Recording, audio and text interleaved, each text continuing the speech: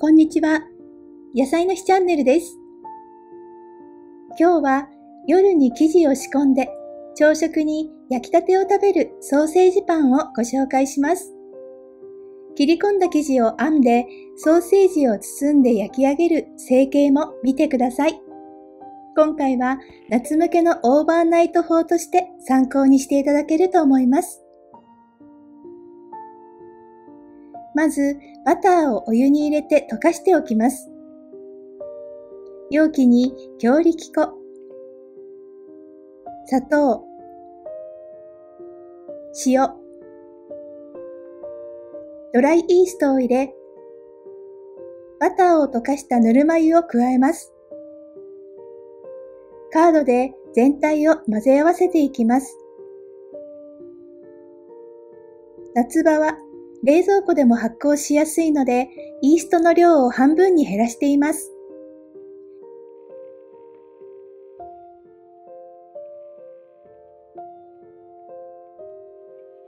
粉っぽい部分がなくなったら、生地を切るようにして2分くらい混ぜ込んでください。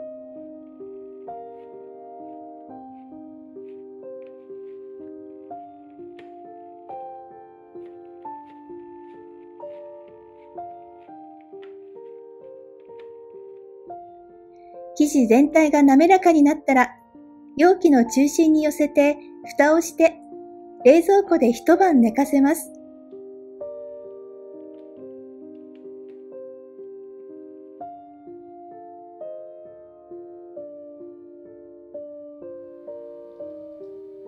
翌朝、冷蔵庫から容器を取り出してみると、生地が2倍以上に膨らんでいると思います。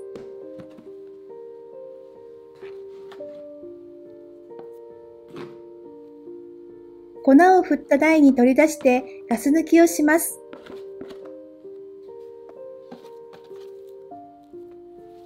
夏場は生地が冷たいままでも大丈夫です。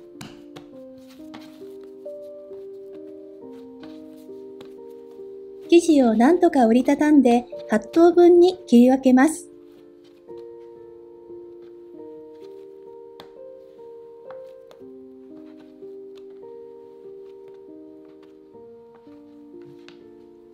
切り分けた生地をそれぞれ丸めて5分置きます。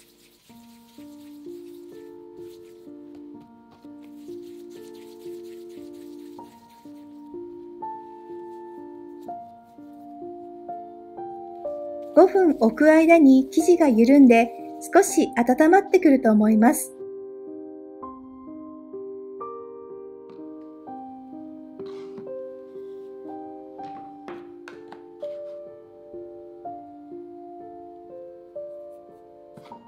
休ませた生地を手で平たく押して、綿棒で直径10センチの円に伸ばします。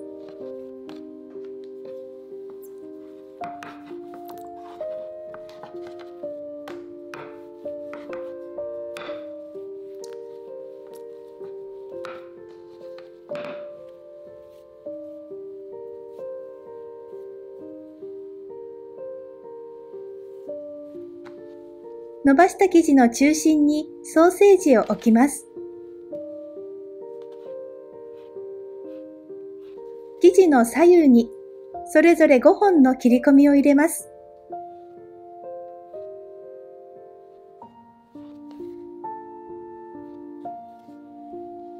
切り込んだ生地を交互に重ねながら編み込みます。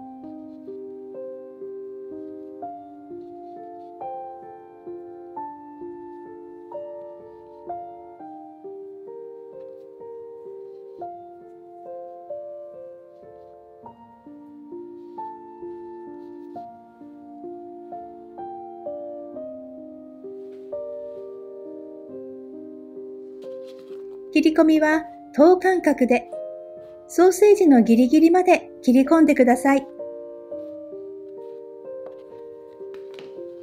切り込んだ生地を斜めに重ねていきます。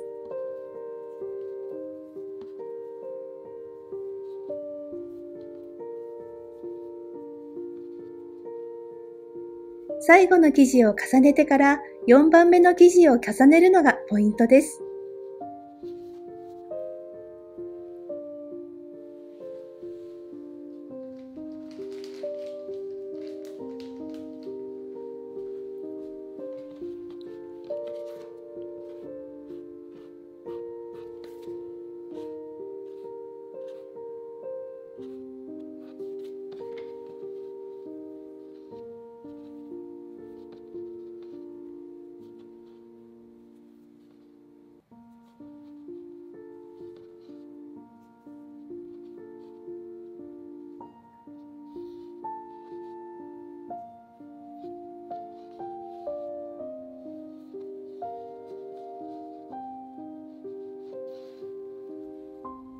天板に並べて乾いた布巾をかけ、暖かいところで2倍になるまで発酵させます。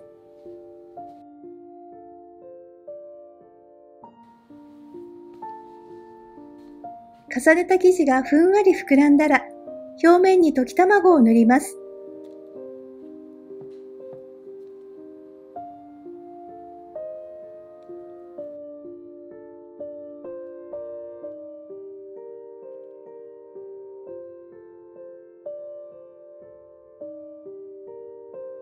お好みでケチャップをかけ、マスタードをかけます。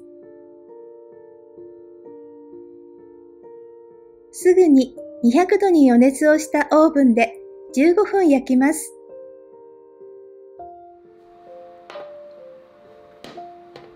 これで焼き上がりです。マスタードの代わりにマヨネーズもおすすめです。こんがりと美味しそうに焼けました。刻んだパセリを乗せます。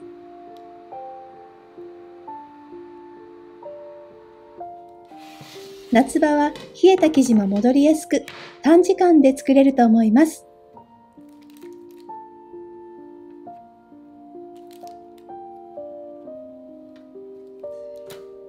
今回はオーバーナイトで焼くパンの夏バージョンをご紹介しました。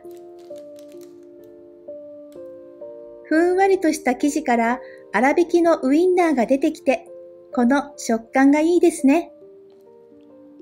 朝食に焼きたてパンを楽しんでください。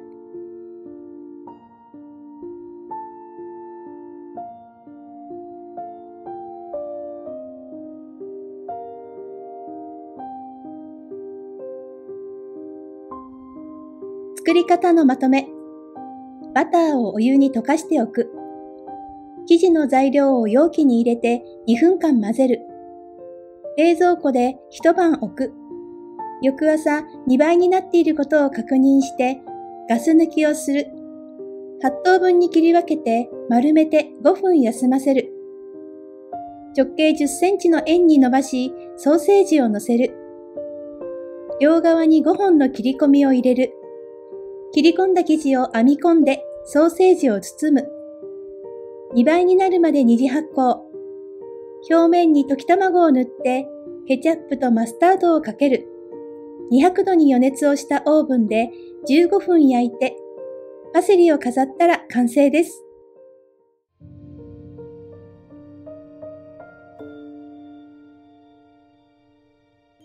最後までご視聴ありがとうございました。